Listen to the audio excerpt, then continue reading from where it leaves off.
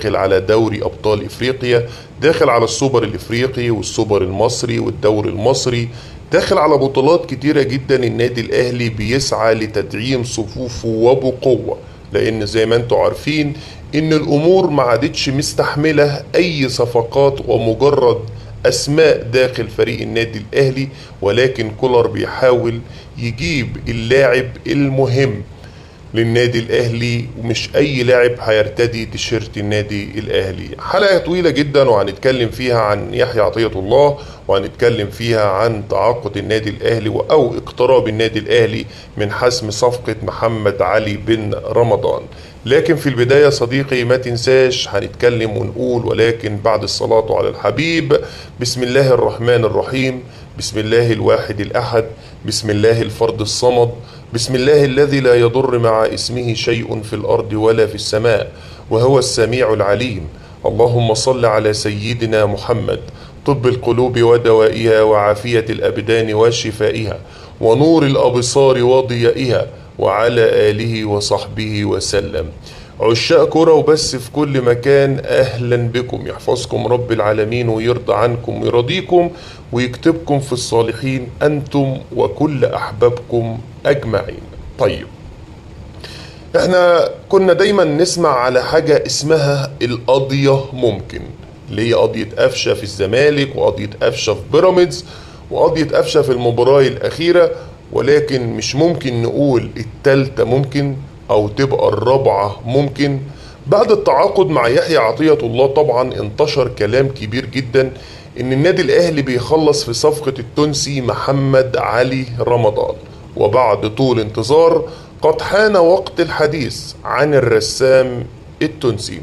مشروبك الجميل ويلا بينا نبدأ أرقام وإحصائيات محمد علي بن رمضان قبل تعاقد النادي الأهلي معاه.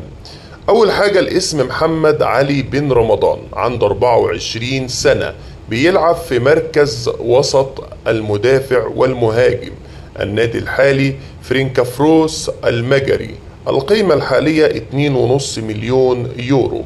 أرقام اللاعب خلال مسيرته مع الأندية لعب مع الترجي التونسي شارك في 143 مباراة ساهم خلالهم في 40 هدف سجل 34 هدف صنع 6 أهداف. أما عن أرقامه مع فريقه المجري شارك في 40 مباراة. ساهم خلالها في 10 أهداف. سجل هدفين فقط. صنع 8 أهداف. بعد ما اتكلمنا عن أرقام محمد علي بن رمضان مع الأندية تعال معايا علشان نتكلم فنيا. أولا هنتكلم عن اللاعب دفاعيا.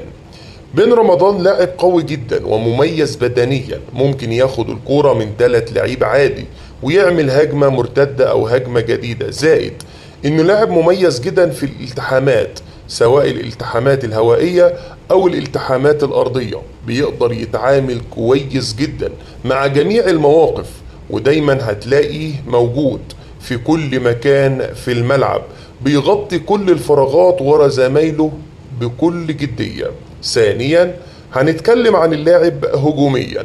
مبدئيا كده بن رمضان لاعب رايق في الحتة الهجومية.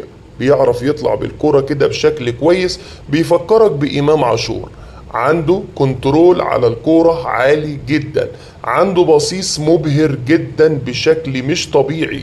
قريب جدا من إمام عاشور زي ما قلت لكم وعمرو السولية في البساط الطويلة وعنده لمسة جمالية أحسن من السولية. لاعب عالي جدا على مستوى المراوغات. فإن بن رمضان يتصنف في القارة الإفريقية من أحسن اللاعبين في القارة في المراوغات. لاعب حريف قوي ويمتعك كورة طول ما أنت بتتفرج عليه. مش هتزهق هتحب الكرة تبقى معاه طول المباراة. بن رمضان في وسط الملعب بيفكرني بأسطورتنا علي معلول في ال back الشمال. صحيح معلول back شمال لكن تأثيره الهجومي مرعب حرفيا سواء تسجيل أو صناعة الأهداف. بن رمضان بقى نسخة تانية شبيهة بعلي معلول في الوسط. بيقدر يسجل أهداف كتير وبيساهم هجوميا دايما وده طبيعي جاي لأنه كان صانع ألعاب أب مع معين الشعباني كان بيوظفه مركز عشرة مع الترجي التونسي. مميزات محمد علي بن رمضان وركز معايا.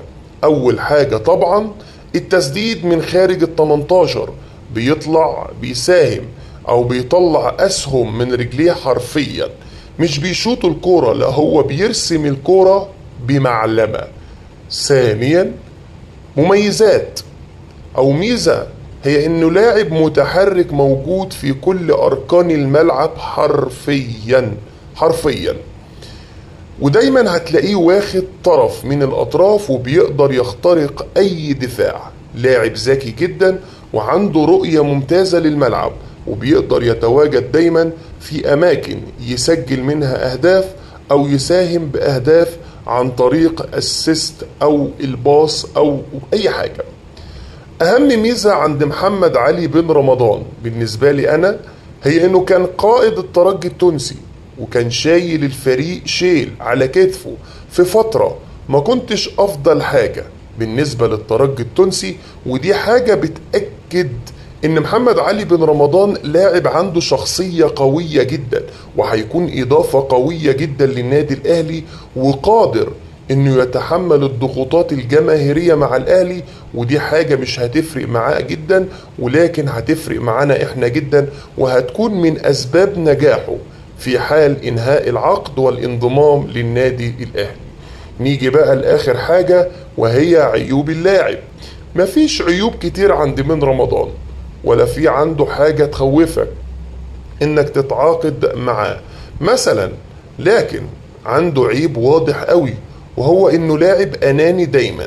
بيحب يسدد هو ويسجل هو الأهداف وأوقات بتتحول هجمات على فريقه غير كده مش شايف له عيوب بصراحة. لو هنتكلم عن الأنانية دي حاجة طبيعية في أي لاعب في كرة القدم. أي لاعب عايز يبقى هو الفت في الفريق. عندنا مثلا حسين الشحات. ممكن حسين الشحات يبقى فيه هجمة للنادي الأهلي وفي إن هو يمرر أفضل من إن هو يشوط أو يرقص. تلاقي حسين الشحات أبهرنا كلنا ويرقص وعايز يشوط ويضيع الهجمة على النادي الأهلي. تخيل كده معايا صديقي يبقى عندك كواليتي في وسط الملعب. يبقى عندك إمام عاشور محمد علي بن رمضان عمرو السولية أكرم توفيق مروان عطية. تخيل هتلعب بالتلاتة مين؟ وقول لنا من وجهة نظرك إيه هي أفضل توليفة؟ لوسط ملعب النادي الاهلي في وجود محمد علي بن رمضان.